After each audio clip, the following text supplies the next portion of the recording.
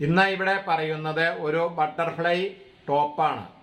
അത് നമ്മൾ സാധാരണ ടോപ്പ് വെട്ടുന്നത് പോലെ തന്നെയാണ് നമ്മളത് വെട്ടുന്നത്. പക്ഷേ ഒരു ചെറിയ ചേഞ്ച് മാത്രമേ ഉള്ളൂ. ആർക്കും പഠിക്കുവാൻ വളരെ എളുപ്പമാണ്.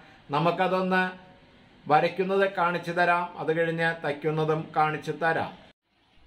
നമ്മൾ ടോപ്പിന്റെ തുണി രണ്ട് മീറ്ററാണ്.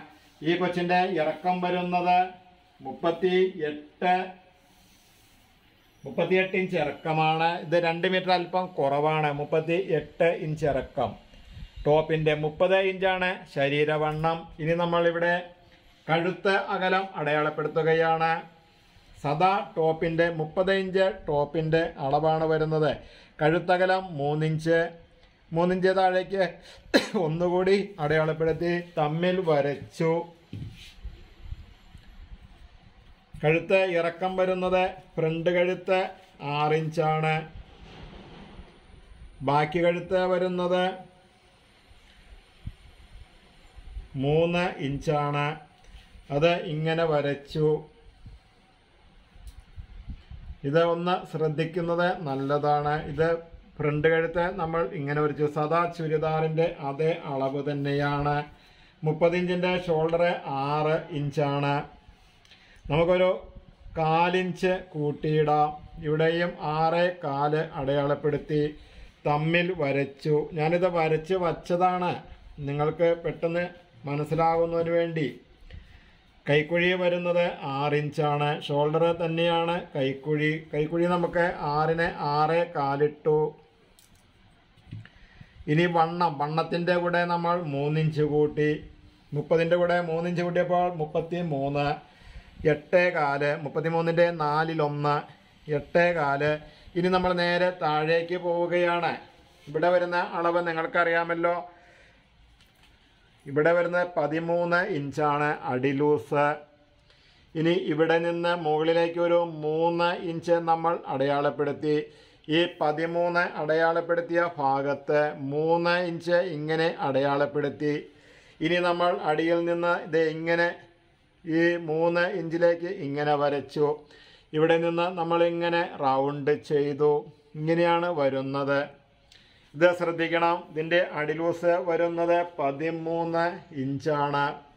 അതിവിടെ അടയാളപ്പെടുത്തി. ഇവിടെ നിന്ന് മുകളിലേക്ക് നമ്മളൊരു മൂന്നിഞ്ച് അടയാളപ്പെടുത്തി. ഇതിന്റെ പകുതി ഇങ്ങനെ പകുതി കണ്ട് പകുതിയിൽ നിന്ന് നമ്മൾ ഇങ്ങനെ മൂന്ന് ഇഞ്ചിലേക്ക് അടയാളപ്പെടുത്തി. അവിടെ നിന്ന് ഇങ്ങനെ റൗണ്ട് ചെയ്തു. ബട്ടർഫ്ലൈ ആണ്. അതുകൊണ്ട് നമ്മളതെങ്ങനെ റൗണ്ട് ചെയ്യണം. ഇവിടുത്തെ കണക്ക് നിങ്ങൾ നോക്കണ്ട. അല്ലെങ്കിൽ ഇവിടെ തൂങ്ങിപ്പോകും. ഇങ്ങനെ തന്നെ ചെയ്യണം. ഇനി നമ്മൾ മുകളിലേക്ക് പോവുകയാണ്. ഇനി ഇവിടെ നിന്ന് നമ്മളൊരു ഷേപ്പിനെ ഇങ്ങനെ അടിയിൽ നിന്ന് മുകളിലേക്ക് ഇങ്ങനെ വരച്ചു പോരണം. ഇങ്ങനെയാണ് വരുന്നത്. ഇനി ഇവിടെ എലാസ്റ്റിക് വരുന്ന ഭാഗമാണ് ഇത്. നമ്മുടെ ഷേപ്പ് ഷേപ്പ് വരുന്നത് പതിമൂന്ന് ഇഞ്ചിലാണ്. ഒരു ഒരു ഇഞ്ച് ഒന്നുകൂടി അടയാളപ്പെടുത്തി ഒരു ഇഞ്ച് കൂടി അടയാളപ്പെടുത്തി. മൂന്ന് പ്രാവശ്യം ഇങ്ങനെ അടയാളപ്പെടുത്തണം. ഇത് നമുക്ക് എലാസ്റ്റിക് വയ്ക്കുന്നതിന് വേണ്ടിയാണ്. മൂന്ന് എലാസ്റ്റിക് ഇവിടെ വയ്ക്കുവാനുള്ളതാണ്. ഇതുപോലെ തന്നെ പുറകുവശവും നമ്മൾ അടിച്ചെടുക്കണം. ഇതിന്റെ പുറകുവശത്ത് നമ്മൾ ഇതുപോലെ തന്നെ വരച്ചെടുക്കണം. ഇതും ഇതുപോലെ തന്നെ വരയ്ക്കണം. ഇനി നമുക്ക് ഇത് വെട്ടാം. നമുക്ക് ബാക്കി കഴുത്ത് വെട്ടാം. ഇതിങ്ങനെ വരച്ച് വച്ചതാണ്. ഇനി നമ്മളത് ഇങ്ങനെ വെട്ടുന്നു. ഇനി താഴേക്ക് നമ്മുടെ ആറ് ഇഞ്ച് കഴുത്ത് ഇറക്കം ഇങ്ങനെ വെട്ടി ഇത് നമുക്ക് ഒരു പീസ് വെച്ച് അടിക്കാം. അല്ലെങ്കിൽ നമുക്ക് പൈപ്പിങ് ചെയ്യാം. എങ്ങനെയാണെന്ന് നോക്കട്ടെ അതുപോലെ ചെയ്യാം. ഇപ്പോൾ നമ്മുടെ കഴുത്ത് വെട്ടി ഇത് ബാക്കിയാണ്. ഇത് ഫ്രണ്ട് കഴുത്താണ്. ഇത് മൂന്നിഞ്ച് ഇറക്കമായിരുന്നു. ഇത് ആറിഞ്ചാണ്. ഞാനത് മറച്ചിട്ടു. അത് കഴിഞ്ഞ് ഇവിടെ ഇങ്ങനെ വരച്ചായിരുന്നു. അപ്പൊ നമ്മൾ രണ്ട് വശവും നമുക്ക് സൈഡ് കൂട്ടാനുള്ളതാണ്. അതുകൊണ്ട് ഈ ഇത് നമ്മൾ വരച്ച പാട് ഇതിനകത്ത് വന്നു. പുറത്തു നിന്ന് അടിക്കാം ഇങ്ങനെയാണ് വരുന്നത്. കൈക്കുഴി വരെ വേണം ആറ് ഇഞ്ച്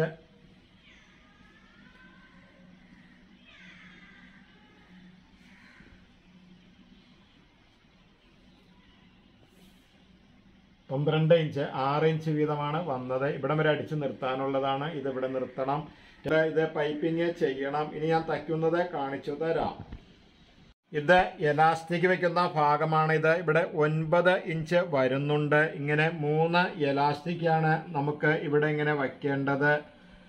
കണ്ടോ? ഇങ്ങനെ വെച്ചിട്ട് നമ്മൾ ഇങ്ങനെ വലിച്ച് അടിക്കും. മൂന്നെണ്ണം വേണം. അപ്പോൾ ഇതിന്റെ ഇതിന്റെ ഒരു കണക്ക് നമുക്ക് നോക്കാം. ഈ ഷേപ്പ് വണ്ണം കൊച്ചിന്റെ ഷേപ്പ് വണ്ണം വരുന്നത് ഇരുപത്തിയാറ് ഇഞ്ചാണ് അപ്പോൾ ആറര ഇഞ്ചാണ് ഇവിടെ വരുന്നത്.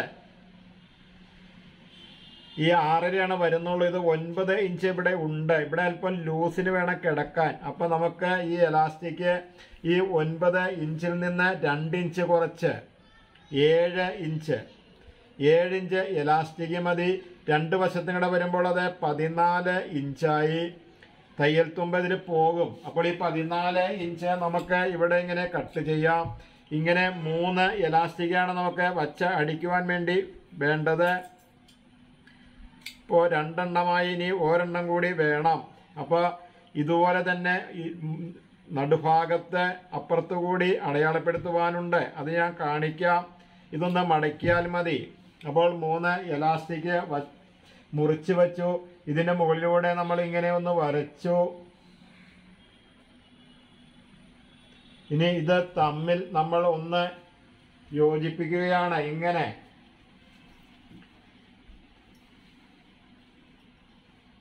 അടിഭാഗം കറക്റ്റ് നോക്കണം.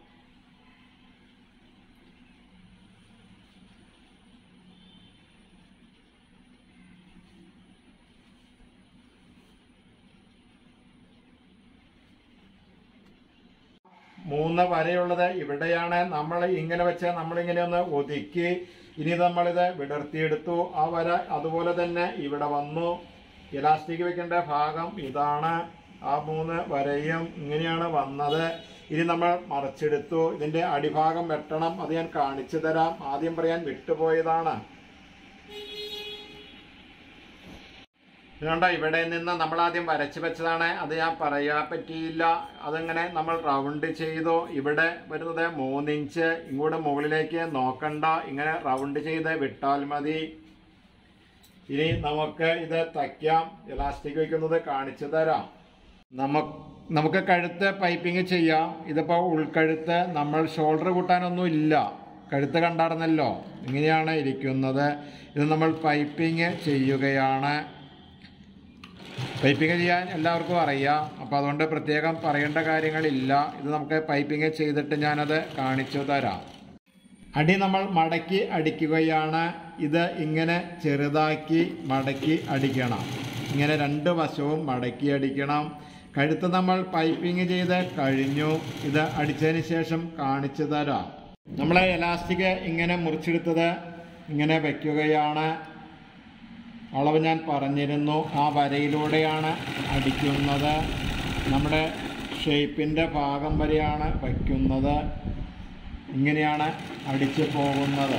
ഇനി സൈഡ് കൂട്ടണത് കാണിച്ചു തരാം. നമ്മൾ എലാസ്റ്റിക് വെച്ച് കഴിഞ്ഞു. ഈ ഭാഗത്ത് ഇങ്ങനെ എലാസ്റ്റിക് വെച്ചു. ഇത് മറച്ചെടുത്തു. ഇനി നമ്മളിതിന്റെ സൈഡ് വരച്ചിട്ടിട്ടുണ്ടായിരുന്നു. ഇത് ഇവിടെ നിന്ന് ഇവിടം വരെ വരുന്നത്. ആറ് ഇഞ്ചാണ് കൈക്കുഴി ആറ് ഇഞ്ച്. ഇവിടെ നമ്മൾ അടയാളപ്പെടുത്തി. ഇവിടെ നിന്ന് നമ്മൾ താഴേക്ക് ഒരു പത്തൊൻപത് ഇഞ്ച് അടയാളപ്പെടുത്തി. ഇവിടം വരെ നമ്മൾ പുറമെ ഇതിന്റെ പുറമെയാണ് അടിക്കുന്നത്. ഈ വര കണ്ടോ? ഉള്ളിലത്തെ വര സൈ നമ്മൾ വരച്ചിട്ടുണ്ടായിരുന്നു. ആ വര ഇങ്ങോട്ട് എടുത്ത് വരച്ചതാണ്. ഇങ്ങനെയാണ് നമ്മൾ തയ്ക്കുന്നത്.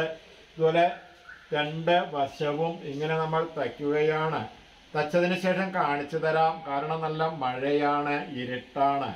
അതുകൊണ്ട് തച്ചതിന് ശേഷം കാണിച്ചു തരാം. ഇതാ ഇങ്ങനെയാണ് തയ്ക്കുന്നത്. പുറമെയാണ് തയ്ക്കണത്. ഉള്ളിൽ നമ്മൾ അടയാളപ്പെടുത്തിയിട്ടുണ്ടായിരുന്നു.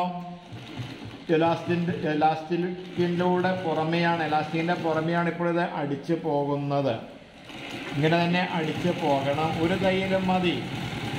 ഇത് ഈ പുറമെ വരച്ച വര പോകും. തുണി നനച്ചിട്ടൊന്ന് തൂത്താൽ മതി.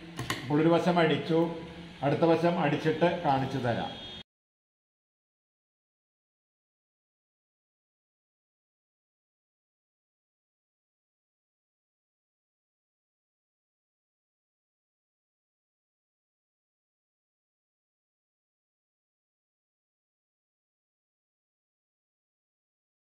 ബട്ടർഫ്ലൈ ടോപ്പ് നമ്മൾ തച്ച് കഴിഞ്ഞു. അതൊരു കൊച്ചിട്ട ഫോട്ടോ ഇട്ടിട്ടുണ്ട്. നല്ല അടിപൊളിയായിട്ടാണ് വന്നത്. അതുകൊണ്ട് എല്ലാവരും തയ്ക്കണം. രണ്ട് മീറ്റർ തുണി മതി. സാധാരണ ടോപ്പിന്റെ തുണി തന്നെ മതി. അത് വെട്ടുന്നതിലെ ചെറിയൊരു ചേഞ്ച് മാത്രമേ ഞാൻ വരുത്തിയിട്ടുള്ളൂ. ബട്ടർഫ്ലൈ തയ്ക്കുന്ന ഏറ്റവും എളുപ്പമായ മാർഗമാണിത്. അതുപോലെ നിങ്ങൾ എല്ലാവരും തയ്ക്കണം. പിള്ളേർക്കെല്ലാം തച്ചിട്ടാൽ നല്ല ഭംഗിയാണ്. രണ്ട് മീറ്റർ തുണി മതി. പിന്നെ അതിന്റെ കഴുത്തിറക്കത്തിൽ ചെറിയൊരു തെറ്റ് പറ്റിയിട്ടുണ്ട്. നിങ്ങളത് ക്ഷമിക്കണം. കാരണം കഴുത്തിറക്കം ആറ് ഇഞ്ചാണ് ഞാൻ പറഞ്ഞത്. ഷോൾഡറിന് ഇഴപ്പ് ഇല്ലായിരുന്നു. ഞാനത് ഓർത്തില്ല. അതുകൊണ്ട് കഴുത്തിറക്കം വരുന്നത് അഞ്ച് ഇഞ്ച് ഇട്ടാൽ മതി. ഒരു മുപ്പത്തി രണ്ട് ഇഞ്ച് വരെ ഇരുപത്തിയെട്ട് ഇഞ്ച് മുതൽ മുപ്പത്തിരണ്ട് ഇഞ്ച് വരെ കഴുത്ത് ഇറക്കം. അഞ്ച് ഇഞ്ച്. മുൻവശത്തെ കഴുത്തിറക്കം അഞ്ച് ഇഞ്ച് മതി. ബാക്കി കഴുത്തിറക്കം ഒരു രണ്ടരയോ മൂന്നോ ഇട്ടാൽ മതി. അത് ഷോൾഡർ തയ്ക്കാം എന്ന് വിചാരിച്ചാണ് ഞാൻ ആ കണക്ക് ഇട്ടത്. അത് വിട്ടുപോയതാണ്. സാധാരണ നമ്മൾ വെട്ടുന്നത് പോലെ തന്നെ വെട്ടിപ്പോയതാണ്. അതുകൊണ്ട് അത് തിരുത്തണം. ബാക്കിയെല്ലാം സൂപ്പറായിട്ട് തച്ചിട്ടുണ്ട്. നല്ല ഭംഗിയുണ്ട്. എല്ലാവരും തച്ച് ഇടുക. ഇനി അടുത്ത വീഡിയോയുമായി ഉടനെ വരാം.